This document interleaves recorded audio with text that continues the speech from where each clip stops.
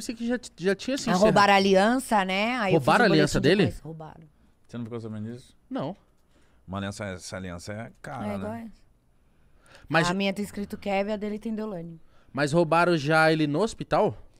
Então, eu recebi uns vídeos dele entrando na ambulância e é assim, é bem nítido a, audi- a aliança no dedo. Oh, pô, o tamanho da aliança. É, lapada.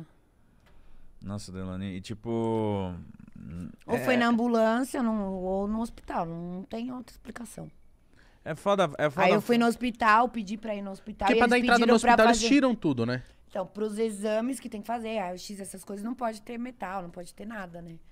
Mas aí a gente não sabe o momento. Mas aí, eu- por isso que eu fiz o boletim de ocorrência, porque o hospital falou que só poderia ter acesso às câmeras com o boletim. Eu falei, então, tá Ah, aí então é boletim. isso que tá em aberto.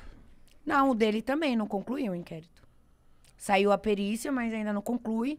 Há um tempo atrás eu vi que o juiz determinou uma decisão quebrando o sigilo telefônico de cinco dias antes, mas não sei como tá. Eu assinei uma procuração para um advogado lá no Rio semana passada. Creio eu que essa semana ele vai lá. Já era para ele ter ido, mas minha vida é muito corrida, eu esqueci, esqueci, esquecia. E vamos ver como tá, né? Tô aguardando. Delane, Não tem... sei por que da demora, né? Se era um caso que estava quase resumido, o delegado queria é, encerrar o inquérito num dia.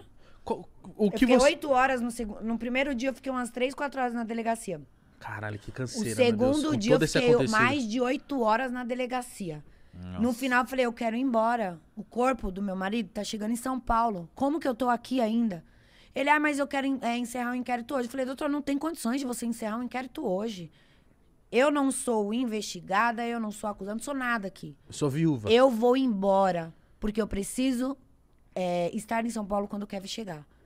Ele, ah, então tá bom, vamos terminar aqui, não sei o que lá. Eu falei, e vim embora pra São Paulo. Não, fez certo. É. Mas o que você. Já mandei alguns a, colegas advogados irem lá, só que ainda tava perícia, ainda tava do mesmo jeito. Aí depois saiu essa determinação judicial e eu tô aguardando. Ó, óbvio, né? O que aconteceu, só quem tava no momento sabe. E a polícia vai estar investigando. Mas o que você tem pra você? Já respondi tanto isso nos outros podcasts, é, tantas linhas de, de raciocínio, de pensamento, de, de investigação do que aconteceu, é, depoimentos contraditórios, é, teve brincadeira, não teve brincadeira, tava no quarto, tava no banheiro. Sei que agora o povo tá indo em culto, agora o povo tá fazendo stories, é, eu não fui, eu não fui. É, tá um monte de gente som aí no mundo. A verdade ninguém fala, né?